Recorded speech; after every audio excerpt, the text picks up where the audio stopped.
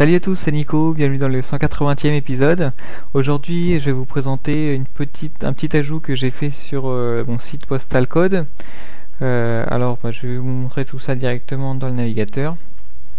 Alors, Postal Code, c'est le second site de mon aventure, puisque le premier c'était 365-jour.fr euh, que j'ai développé.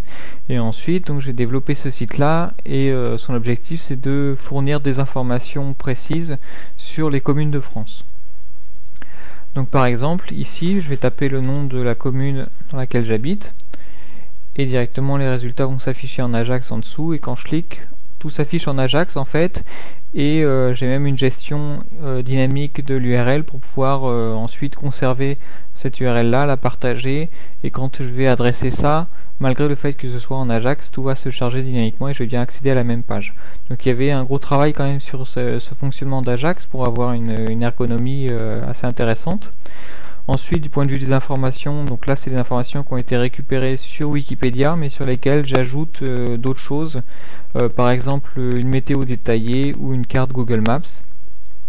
Et en dessous, je fais aussi un calcul en fonction des coordonnées euh, de, chaque ville pour pouvoir fournir une liste de communes voisines avec exactement le nombre de kilomètres qui les séparent.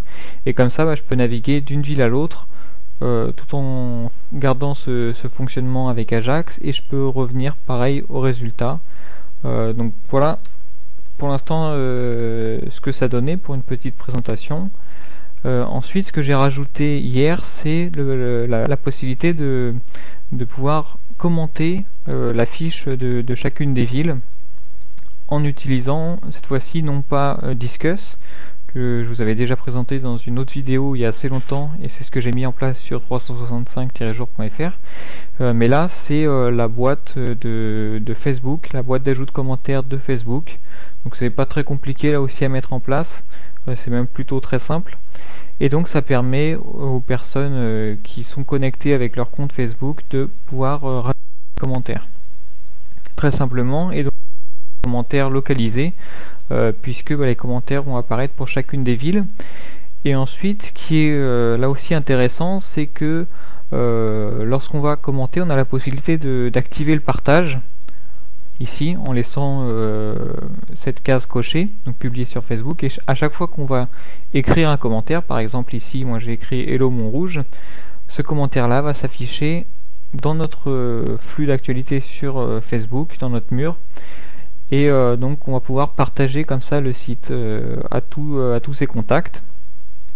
Et j'avais mis en place là la modification de l'aspect des, partages puisque par défaut c'est Facebook qui le fait automatiquement en récupérant le titre de la page, le texte et il essaye de lui assigner une image. Euh, mais ça on peut le, forcer euh, en, en, rajoutant quelques petites valises. J'avais fait une vidéo là-dessus et puis euh, vous retrouverez le lien dans les ressources.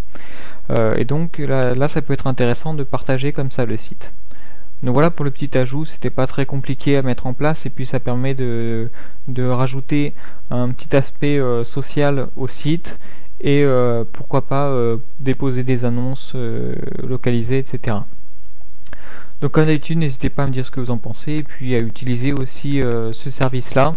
Et puis si vous avez des suggestions, des propositions, bah, mettez euh, tout ça dans les commentaires. Et puis bah, moi je vous dis à bientôt pour une prochaine vidéo. Allez, salut